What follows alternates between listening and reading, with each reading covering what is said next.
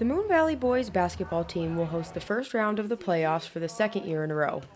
The Rockets are going into the postseason with a 21 and 4 overall record after winning their regional division for the first time in 17 years. Coach Matt Elliott says that the success reflects the boys' efforts on the court.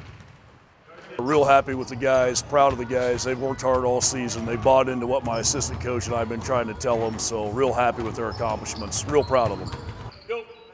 Coach Elliott has been able to turn a once failing program around to what is now one of the top in its conference. In division games, the Rockets dropped only one, which was the final game of the season.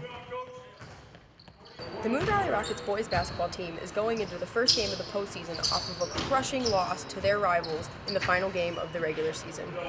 The Rockets dropped a close one to their rivals, the Greenway Demons, 52 to 49, in what they describe as a humbling loss. Team captain Cameron Davis says that he feels the loss was something good for the team leading up to the playoffs.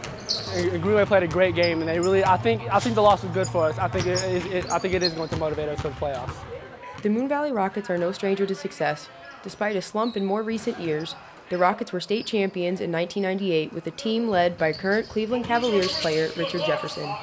In the fall, Jefferson visited the campus and brought the NBA championship trophy to the assembly.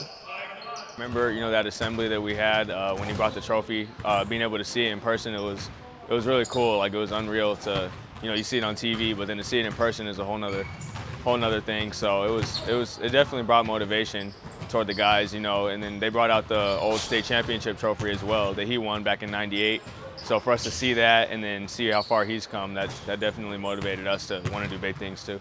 The Rockets will look to follow in Jefferson's footsteps as they take on Cactus Shadows in round one of the playoffs Wednesday. Rockets on three. One, two, three, Rockets.